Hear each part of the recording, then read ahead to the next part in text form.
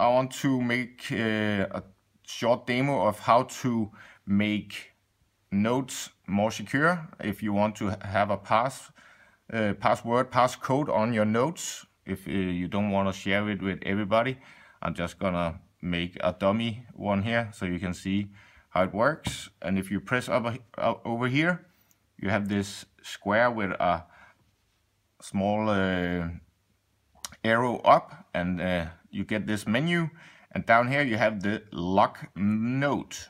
If you press that one, it is asking you for a password for this one.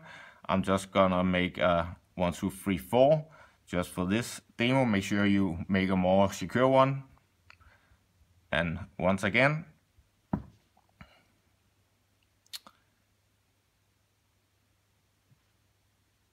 I'm just gonna see if I did this right.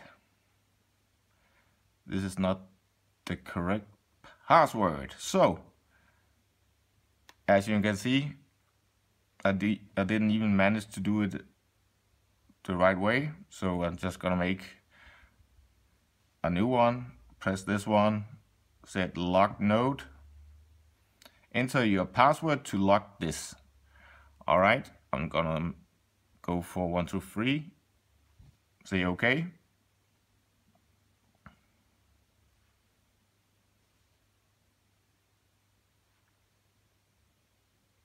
Try and go back.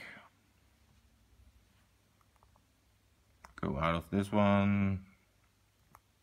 Go back to the menu.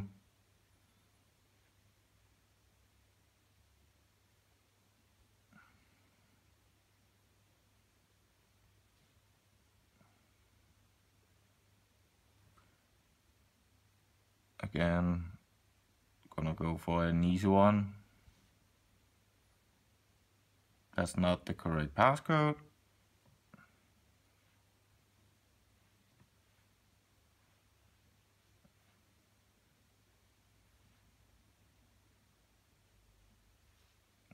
And as you can see, I have uh, one node here that is been locked by a password. So this is what you see if you don't have the password. Not sure if... And as you can see, I'm not able to remember my password, but uh,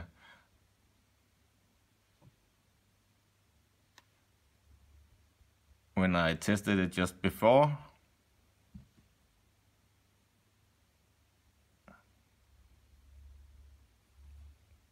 I probably did something like this and here you go. Now I can see that I wrote test in my test note. So uh, this is a way to do it.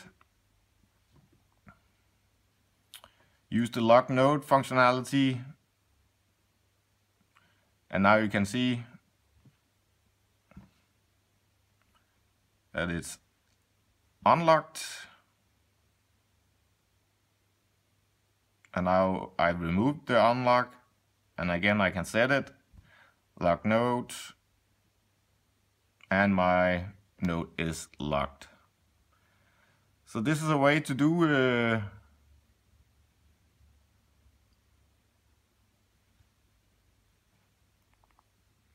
notes that is being locked by a password. It's a great functionality if you want to keep uh, your node secret. Uh, and as you can see here this node is locked so you have to enter the password. So